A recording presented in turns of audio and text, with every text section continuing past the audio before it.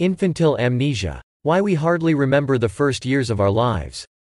The baby remembers the face of the mother already in the first days of life and then easily distinguishes it from other faces, which, however, he also gradually remembers, and even greets with a smile those of them that he likes best.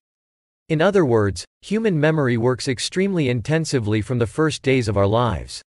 But why then do we not remember anything from that time? Scientists call this phenomenon infantile amnesia. Read about what it is in an article by psychologist Vanessa LoBue. In a child development course at Rutgers University, Vanessa asked her students to recall their very first memories. Some of them talked about the first day in the nursery or kindergarten, others, about the time when they were offended or upset, others remember the birthday of a younger brother or sister. Despite significant differences in details, the students' memories have something in common. They are all autobiographical and represent memories of significant events in a person's life after the first two or three years of his life. This is the order of things. Most people cannot remember the events of the first years of their life, and this phenomenon is called infantile amnesia. Why don't we have childhood memories? Does memory start working only at a certain age? Here's what scientists think about children and memory. Even though people don't remember much before the age of two or three, research shows that babies can form memories, but these are not memories that can be put into words. During the first days of life, babies can remember their mother's face and distinguish it from a stranger's face. A few months later, they remember many faces, smiling at those whom they see more often than others. In fact, there are many other types of memories besides autobiographical ones. We have semantic memories and memories of facts, such as the names of different varieties of apples. There is also a memory of how to perform certain actions, such as how to open the front door or drive a car. Research in the 1980s and 1990s by psychologist Carolyn Rovee-Collier showed that infants can form memories from an early age, but cannot tell about them. The essence of the experiment was as follows the scientists placed babies between the ages of 2 and 6 months in cribs with mobile devices hanging over their heads. At first, the device worked when children accidentally kicked it with their foot. The scientists then tied a string from each child's foot to the end of the device.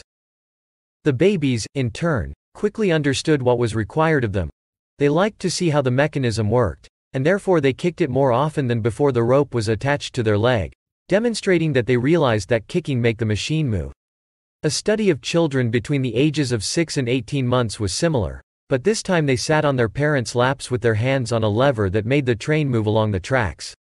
At first, the lever did not work, and the experimenters measured how hard the child pressed on it. Then they turned on the lever, and each time the baby pressed it, the train would go its own way. The babies quickly got used to it again and began to press the lever much harder. What does this have to do with memory? After teaching the infants one of these exercises for several days, Rovee-Collier tested to see if they remembered it. When the babies returned to the lab, the researchers would show them the kicking device or the train and see if they continued to kick and pull the lever. Rovee-Collier and her colleagues found that if six-month-old babies were taught for one minute, they could remember their actions a day later.